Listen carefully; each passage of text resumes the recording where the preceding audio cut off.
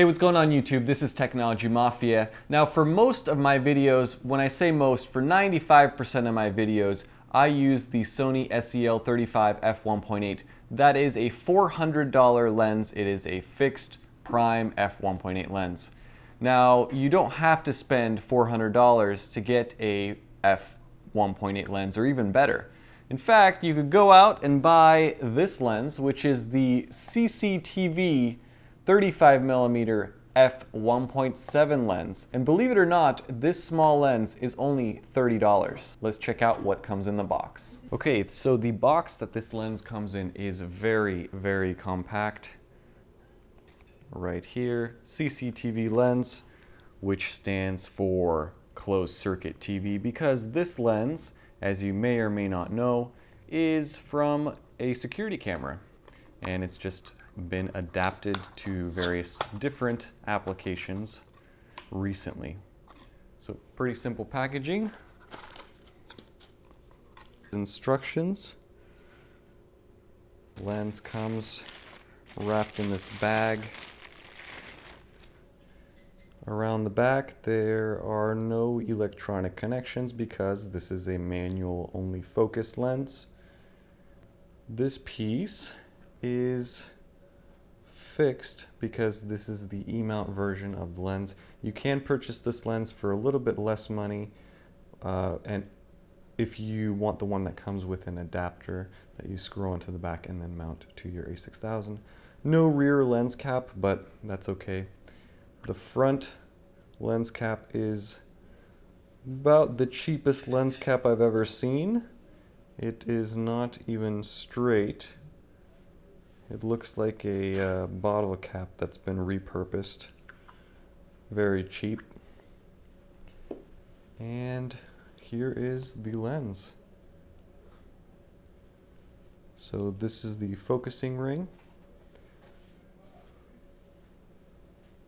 So it's pretty smooth right here and then as you get to one extreme it's a little crunchy. Fotasy F35 1.7 on the top. Interestingly, the inner barrel moves as you focus. And then the aperture is declicked. See if we can, yeah. All the way closed, and then f1.7. So let's put this on the a6000 and see what it looks like. Here is the lens mounted on my a6000 and it looks kind of funny because, well, the lens looks very small. But it fits. I would say that the fitment is probably one of the poorest that I've seen for an E-mount lens. It definitely wiggles and you can hear it moving side to side. But it is still usable. The aperture ring is pretty smooth when it's mounted. The problem that I found is when you use the focus ring, it's pretty easy to knock the aperture ring at the same time because it's such a small area, but it works. There it is on the camera. All right, so let's go ahead and check out what you could do with this cheap lens.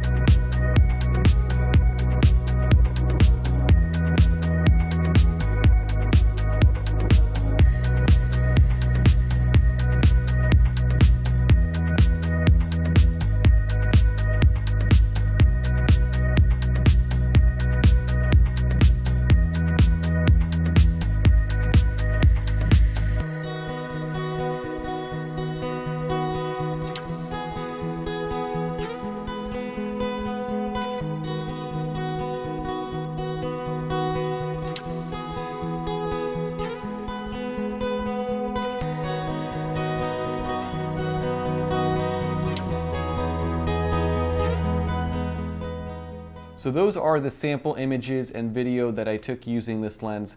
What's interesting is that when you are manually focusing this lens as you have to, I have focus peaking enabled on my a6000 so I see a red outline of what is in focus and what isn't in focus.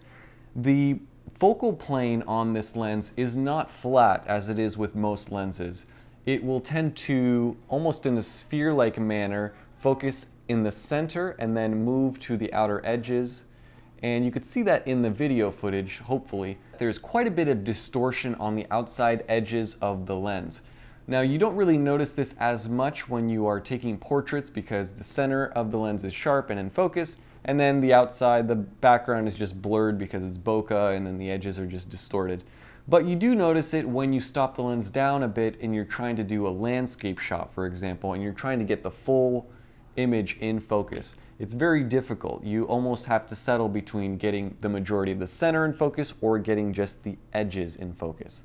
Now, a lot of people are not going to see that as a negative because the fact that it has that circular distortion on the edges kind of an interesting characteristic. So some people will think that it's artsy slash creative.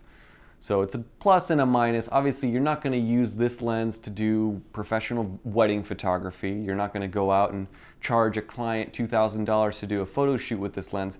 But it is kind of an interesting lens to throw in your bag if you wanted to, uh, to take it out and take some shots that have some crazy distortion on the edges. For $30, I thought that it would be much worse than it is. So should you go out and buy this lens? Well, it depends on whether or not you're looking for a particular look in your photos. If you're looking for that distortion, go out and spend the $30 and you'll probably enjoy taking pictures with it. Also, if this is your first prime lens that's all manual and you're just wondering if you will be able to shoot using a manual lens, maybe you should go out and spend the $30, get this lens, try it out before investing two or $300 into a manual lens.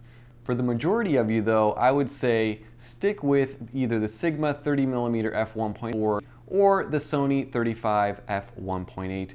Uh, those are two of my favorite lenses that are primes. All right, so that is it for this video. That is it for this lens. Hope you guys enjoyed it and learned something. If you did, be sure to hit that like button below, subscribe if you are not subscribed yet.